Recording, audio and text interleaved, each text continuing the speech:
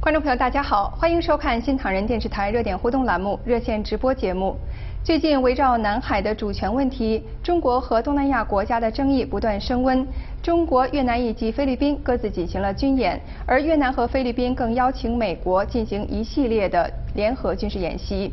那么在现在的这种情况下，如果南海争端不断升级的情况，中共会不会开战？敢不敢开战？那么在领土以及主权的问题上，中共持一个什么样的立场和态度？在今天热点互动节目热线直播的节目中，欢迎您打我们的热线号码六四六五一九二八七九和我们一起讨论。那我们首先呢，跟大家看一下这一次南海争端的主要情况。示威者聚集在中国大使馆门前，高呼口号，要求中国军舰撤出南海、中越有争议的海域。这是河内连续第三个周末爆发反北京示威。在南海主权争端再次升温之际，越南与中国近日相继在南中国海举行了海军演练。中共官方媒体报道，中国海军近日在南中国海域举行两次海空实兵演练，出动十四艘猎潜艇、登陆舰、巡逻艇等船只和作战飞机。此外，北京方面还派出海巡三一大型巡防船穿越南中国海前往新加坡访问。菲律宾等国也在南中国海与美国海军举行协同演练。菲律宾总统阿基诺还对北京发出警告，不要入侵菲律宾领海。菲律宾还派出旗舰前往争议海域巡逻。美国海军同时派出一艘核动力攻击型潜艇前往西太平洋。对此，美国和越南表示，南中国海的和平稳定与自由航行符合国际社会利益，这一争端必须依照国际海洋法磋商解决，不得付出武力。各位观众朋友，今天我们的话题是南海争端，中共敢不敢开战？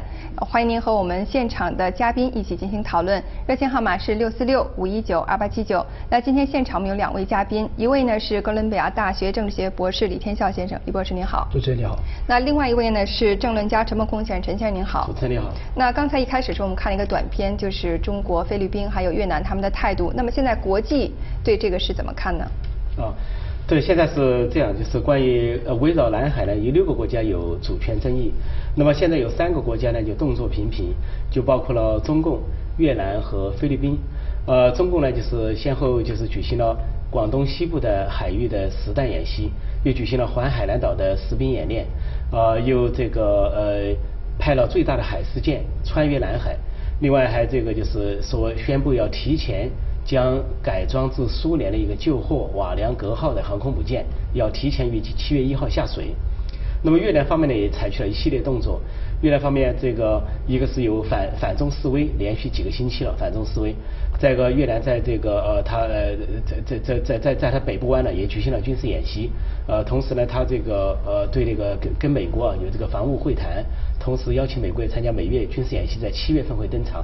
另外，关于这个菲律宾，菲律宾一方面它是这个把这个南中国海改成了名字叫西菲律宾海，另外它这个把一些礁山礁湖上，呃，就是附近的一些礁湖上或者沙洲上的说是外国标志取消了，也这些所谓的外国标志，就是认为他认为前段时间啊中共去安插的浮杆或者浮标这取消了。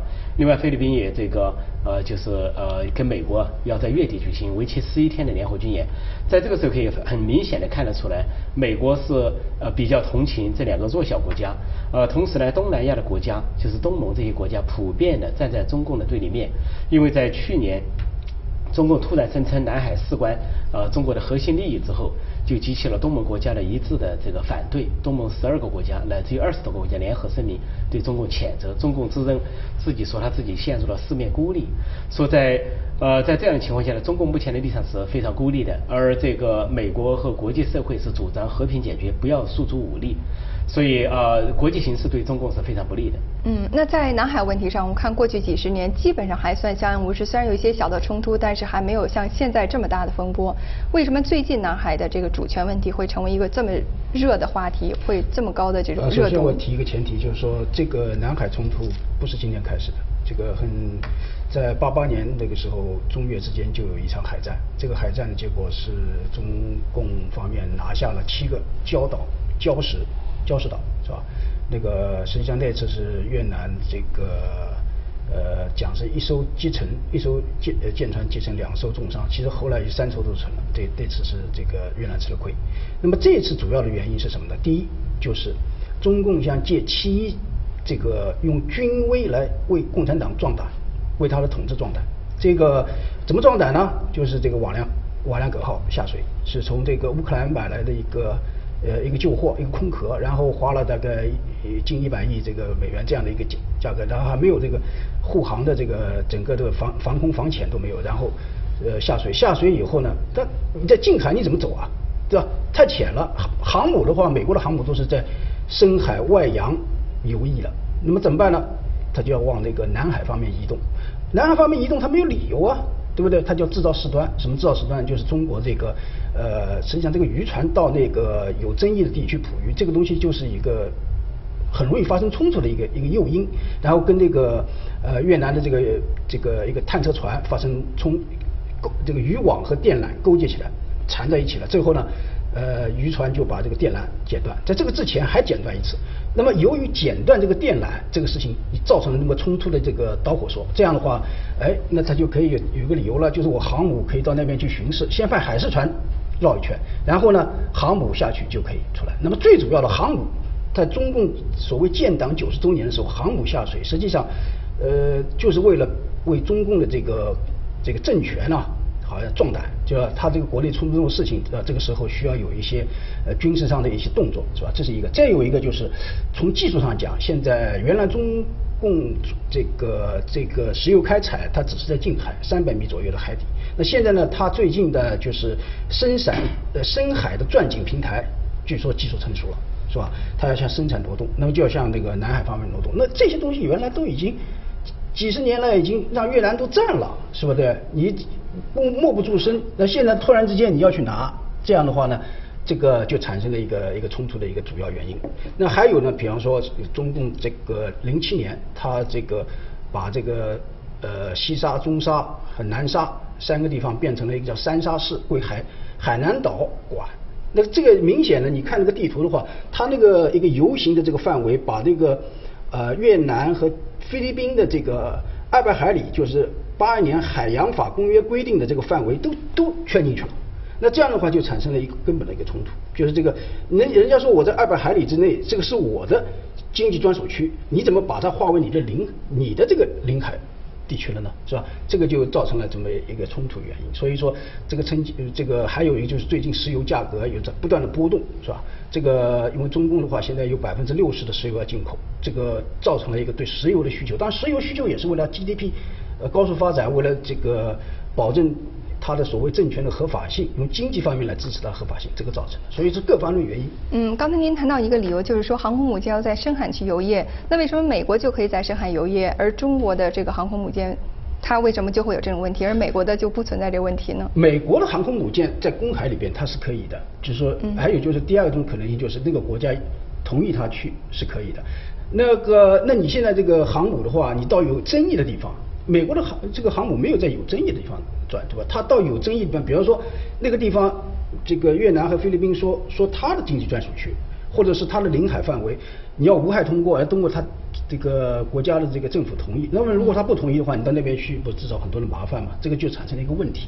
嗯，那我们知道，呃，就是南海这个主权的争议，呃，刚才李天笑博士也不是一天两天了。那么，中共在这个主权问题上，在领土问题上是一个什么样的立场呢？对，关于这个领海和主权啊，我们中国人民是从来不含糊的。中国人民是爱国的，是天然爱国的。说中国人爱国是真实的，但是中共政权对南海的主权呢是前后不一，而且是手鼠两端。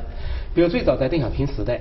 他们邓小平公开提出的政策就是搁置争议，共同开发。那么这个共同开发，那么你什么意思呢？就主权共享嘛，你共同有主权，这是一个。在朱镕基当总理的时代，他也是这个提法。他出访过东南亚，他都是这个提法。另外，在二零零二年，中共跟东盟这个这个联合体，东盟有二十多个国家，签发了一个叫做《南海行为宣言》。这个行为宣言就说承诺，在任何情况下都用和平手段而不诉诸武力去解决南海争端。但事实上后来呢，随着这个呃南海越来越多的石油和天然气啊被勘测出来，中共采取了很多越来越多的武装冲突跟越南跟菲律宾之间的武装冲突的手段。当然派渔船的渔船是武装渔船，它并不是一般的渔船，是中共的间谍船。同时呢，就说。我们都知道，我们都是爱国的，爱国当然是希望中国的疆域越大越好，大的合理。但是这个爱国不是盲目的。我们看一下那个地图呢，就知道，因为国际海洋法公约有一条底线，这个海洋法公约呢，呃，就是联合国通通过的。他说，每一个国家的底线是什么？至少有两百海里专属经济区。那么中共呢是在一九八二年签署了这个条约，一九九六年实施了，越南和菲律宾都签署了。其实我们看一下这个地图的话呢，中共他自己画的一条线是完全不切实际的，他自己没有拥有。他把这个线沿着越南的海岸线，沿着那个马来西亚、菲律宾、培呃那个那个文莱，这么画了一圈，画了个袋子形，就到人家家门口，特别是没有给那个菲律宾文莱留一点点空间，越南还留了一个缝，就等于说是二百海里以内你都不能去活动。所以这就严，他就违背了这个联合国的这个他自己签署的呃海洋法公约，而越南和菲律宾就拿出这个漏洞来打中共。说最近在华盛顿举行了个研讨会，叫做南海主权问题，结果越南的学者是图文并茂，非常有逻辑的、雄辩的，讲的头头是道，让与会者都很同情他。结果中国学者上去讲的时候是东拉西扯，这个语焉不详，词不达意。最后被越南方面越南的学者驳了一个叫做什么呢？叫做啊这个理去词穷。后来人家就问这中国人问中国学者为什么讲不清？中国学者就给来了个说什么呢？这个准备不足。这不是准备不足，而是他完全就是他自己画了个圈，自己。没有去维护，又没有实际占有，就硬画到人家门口。那越南也可以说我画在你家门口，结果越南也达不到，当然会制造冲突。说这个爱国方面不含糊，但是中共自己手鼠两端，前后不一，这样子给中国人民造成了困扰。他给他在国际上严重损害了中国的信誉。而中国人民如果是明白的话，也都知道完全不能够接受中国这种一会儿硬忽硬忽软、手鼠两端这种立场。说这个，我想是个问题的症结。好，那我们现在有观众朋友已经在线，我们接一下加州高先生的电话。高先生您好。这个呃，中国跟那个呃邻国的这个冲突啊，我认为从来都是一种，就是说刚才那个李天呃他那个嘉宾讲的那个，从来都是那种两面派的做法，表里不一，前后不一。在跟俄罗斯的冲突的时候，你看他卖了多少土地，他只要能够保证他现政权的稳固，哎，不不出乱子。他怎么卖，他都他都他都可以的，呃，他甚至不呃不让这个不在新闻里边呃正面的报道呃好好的讲一下，就大片的土地就给卖掉了，啊，他是不敢打的，包括在印度那边麦麦克马洪线那样的，表面上打了一下，到最后你看全划给人家了，还还有缅甸那边，他这个邻国他只要是有这种呃麻烦的，他宁愿把大块土地卖掉，他也不愿意。呃，承担这种风险来维护国家的利益，因为他的枪是干什么的？他的枪是对准国内的老百姓的，是耀武扬威。呃，包括那些海上行动啊，这些东西都是做的样子给国内的老百姓看的，呃，显得他很很凶、很厉害、很有力量，是吧？跟越南这类的冲突呢，我觉得还有另外的原因。越南他们在这个时候来提出这个东西，也跟越南本身的通货膨胀也是有关系的。这些共产国家，他在这个内外交困。